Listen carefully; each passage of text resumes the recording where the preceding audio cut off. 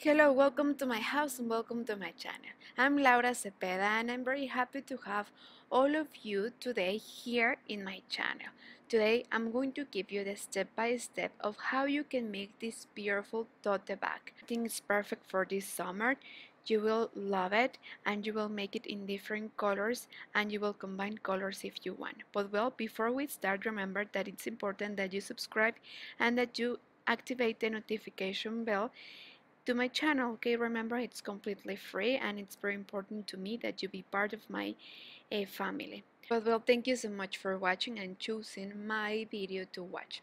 But well what, what do you think of the color? You will see that it's very easy if you're a beginner and if you want to learn how to make easy things. Well I think this project it's perfect it's with a simple stitch and you will see how beautiful it is, okay?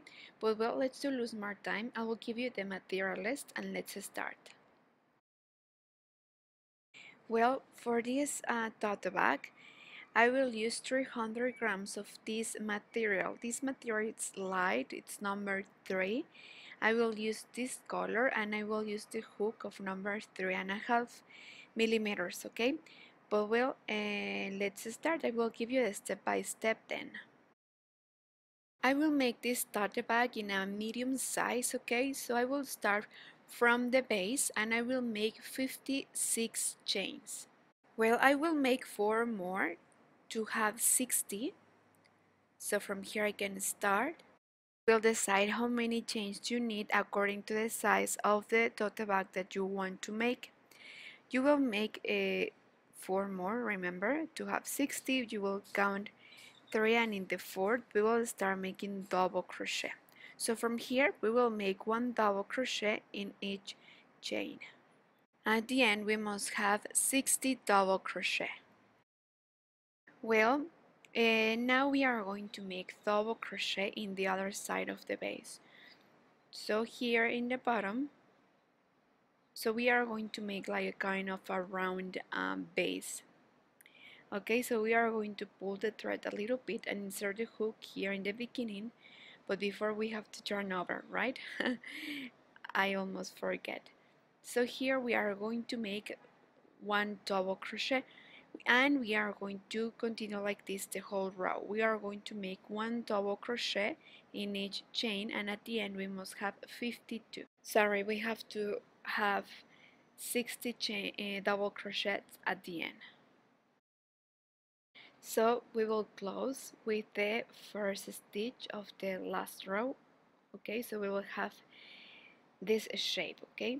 We will go up with four chains four and then we will turn over. And then then in the same space we will make a second double crochet.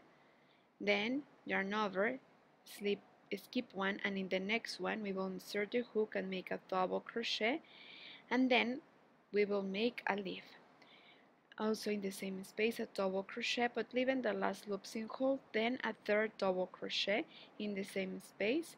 So now that we have all of them we are going to bring them through and one chain to close. Well then in the next space we will skip one and then here we are going to make a V. It means that we are going to make a double crochet one chain and then in the same space a double crochet. So here we have a V. Then skip one and in the next one we are going to make a leaf. So remember a leaf means that we have to make three double crochet in the same space but leaving the last loop in hold then we bring through and one chain then one sorry we skip one and then in the next one 1b and like this is how we are going to continue the whole row. Well look this is how I divide okay? I put some markers to point it out. For example from here to here we have 16 stitches one side and 16 stitches the other side and in the other side too. And here in the middle we are only going to make double crochet and in the sides we are going to make the stitch of V's and leaves. And here well I don't know if with 16 is enough. I will see if I move the markers but just let me finish to make the stitch until the marker and then we will see how it looks. And we will decide. Remember that once we make one V and once we make a, leaf with skipping one and remember that the V has one chain between them. And we'll here the V's. We make three double crochet all of them in the same space and we leave the last loops in hold and then one chain to close. So so far it has to look like this. Here we are in the marker. And I think I will make one more so I will skip one and make a V here. So just let me count. We have 17 here. So we are going to move the marker right here. And well we are going to repeat the same in the other side too. So we will move one stitch or marker to point it out. And I will make the same in the other side too. So each side I will have 17 and then in the middle I will change the stitch to make only double crochet. And then we are going to make Eh, well first we will skip one and then we will start with the section of only double crochet. Well and we will make this row with only double crochet and then when we arrive to the marker remember that we move one we are going to make the the sorry the stitch of leaves and V's right? And then in the coming rows I will tell you because we will change the side of the middle a little bit but I will tell you okay? So don't worry. For now let just let's continue making one double crochet. So we are going to make of double crochet over double crochet. Then also in the coming rows we are going to respect this section of V's and and leaves okay? We are going to in all the rows will be the same the only thing that will change it's that we are going to alternate okay where we make leaves we are going to make uh, the leaves and where we make the leaves we are going to make the V's well and we must have the same at the beginning and at the end of each section. For example here we finish with V so here we must start it with a V so here I will move a marker. Remember that we move one stitch more so now I will continue with the stitch making the V's and the leaves. So I will count how many double crochets we have. 17, 18, 19, 20, 21, 22, 23 and 24 okay? And now let me see how many we made V's and leaves. 1, 2, 3, 4, 5, 6, 7, 8 and 9 okay? And then I told you we have 24 so in all the rows we must have the same number okay? So please respect the numbers that I gave you and please check them each row. Well remember and what we made here we are going to repeat it in the other side and then the double crochet and then again we will repeat. Let me make it and I will show you. Well you see this is how I finished the row and as I told you we finish with a leaf then we will start with a leaf here and we will repeat. Well then here I finish. I already count that I have 9 each side and also that I have 24 stitches. And here I finish with a leaf and then the other row I, I finish it with a leaf. So it's perfect. I just slip one to close and then I will measure it so you can have a reference and idea and once you make yours okay so here we have 35 centimeters, right? So I think it's perfect. I took as a reference this letter, so it perfectly fits an iPad, a notebook, or so. So I, I took it as a reference, so please take that into account once you make yours. Well, we are going to continue the same with the same stitch, but now what is going to change is that, that we are going to alternate. Here, for example, we have a V.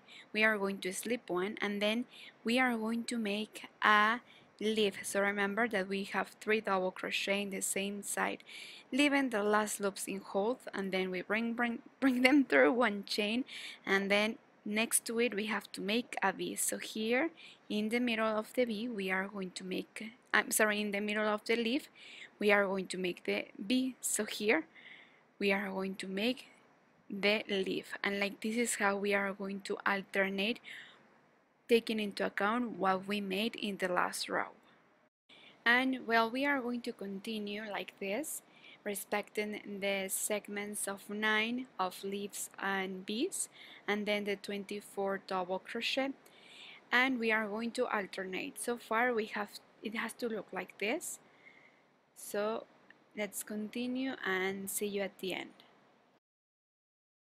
well, before you continue, here I will stop a little bit. If you want, you can continue straight, making in this section only double crochet. But I have other idea for you. Remember that we have 24 here. So I divide and we have 11 and 11. Then I will take these two stitches and here's where we are going to draw the diamond. So we will make two chains and we will skip one, two, and in the third we are going to make a double crochet then we will continue straight making double crochet over double crochet and then we will continue and in the same distance here right in the middle I will repeat the same drawing and then I will continue and see you when we are here. To teach you what's next.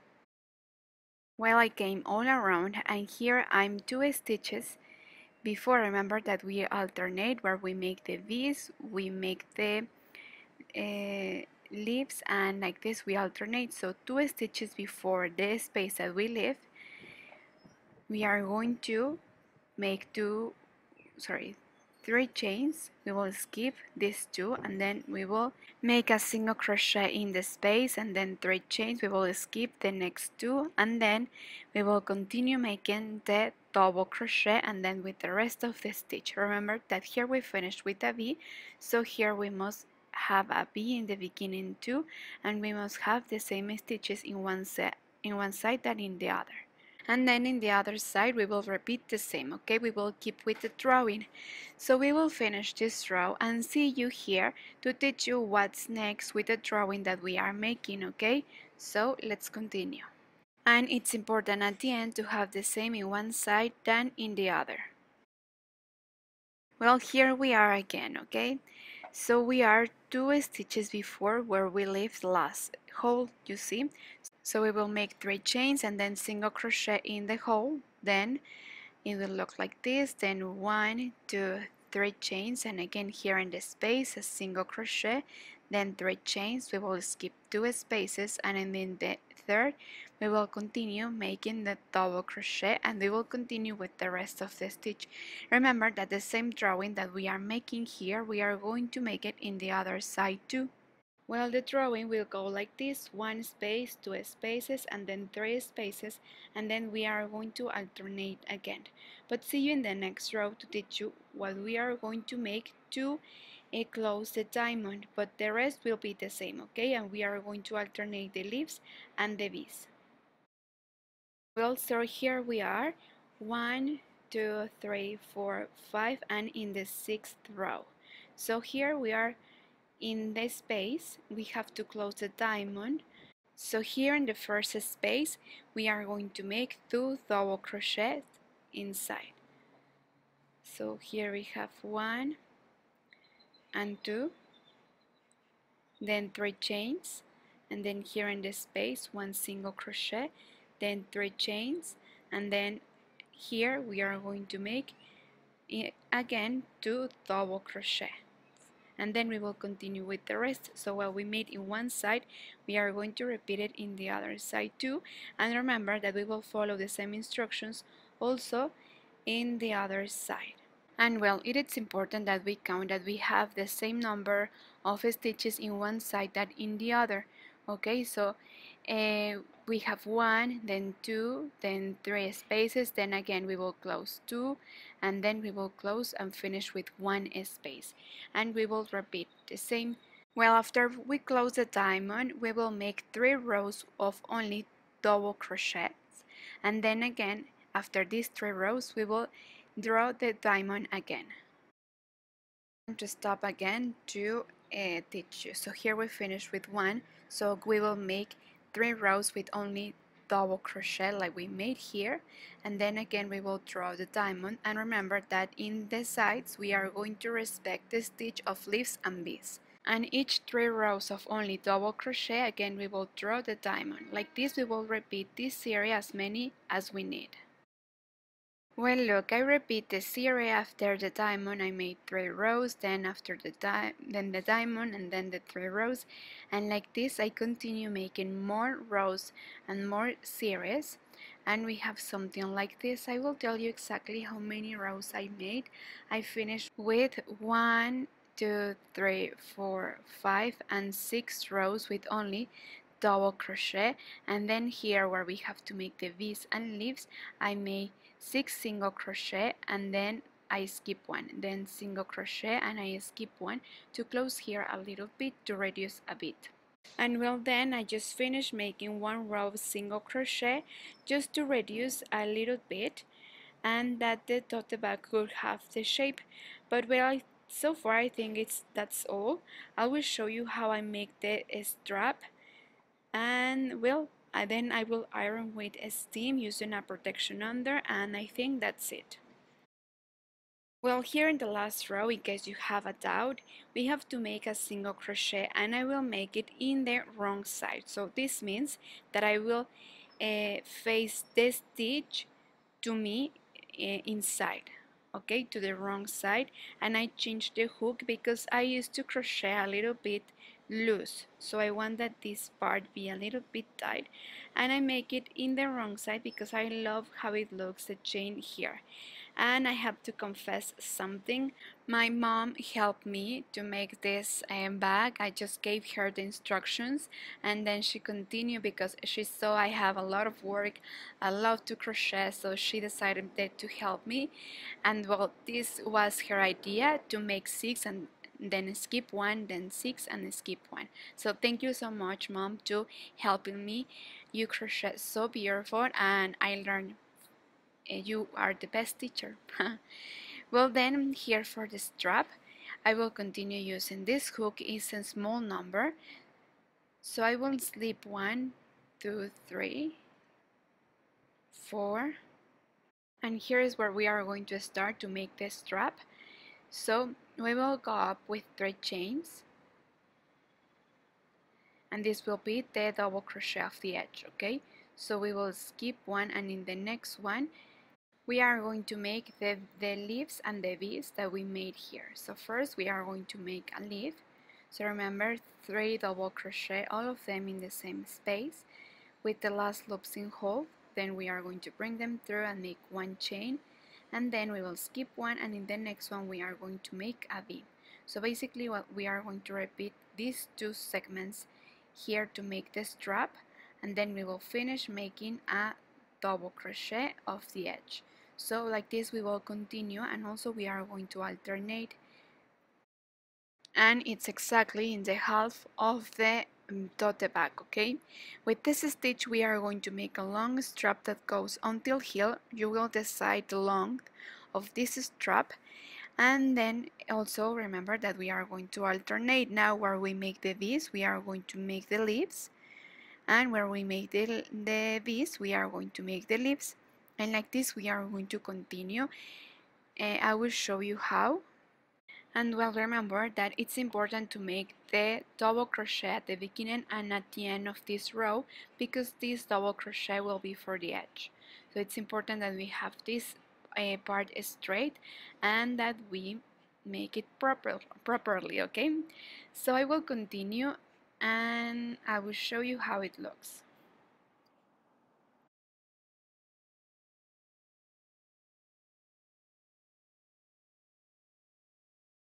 Well, of long, I will measure it and I will tell you how many centimeters are. So from here to here of long, we have 30, 35 centimeters and then of width we have 35 and then I will I think it's perfect it's perfect for an iPad for your laptop for a notebook for everything that you want also for the market and so. I will finish this strap and then I will show you how it looks. Well I measure it and we have 75 centimeters. So I think it's perfect. And then my mom told me that no instead of one double crochet each side for the edge uh, we should make two so uh, she made this again. So she put two double crochet each side of the edge. And well this is how it looks but it's up to you. Also if you want you can make only double crochet uh, or you can give it this uh, different touch and it will look something like this. Well to join we have to take the half of the strap and also of the back okay? Uh, I will use a marker. So here is the exact half and we will have the other half here okay? So then we can join with single crochet or with embroidery needle like you want. In this case I will use the hook also with the same thread and I will join okay I will turn around a little bit and then I will take two stitches together and make a single crochet. Well like this is how we are going to join. Remember that at the end we will iron with a steam using a protection under and um, that's it. Okay I hope that you like it. Also if you want at the end uh, you can use and you can put some fabric or plastic inside and it will use as a protection uh, for your bag but well it's up to you. But like this it's ready to wear. And I can wait that you send me your pictures that you made it. I love and enjoy to make this tutorial with you. I hope that you did did it too but well don't forget to make it. I love it. If you go to all the malls and to every store of fashion store of very famous brands you will see that these tote bags are so trendy right now. I have seen them a lot and i didn't doubt it to make it. But well remember that if you like this video don't forget to subscribe. It's completely free and it will help me a lot to grow Thank you so much and don't forget to share this video if you like it, to give me a like and thank you so much for arriving till the end of the video. Don't forget to leave me a comment too and as soon as I can read them I will answer back, okay? And also to, please don't forget to follow me all my social media too. Thank you so much and see you soon. Bye!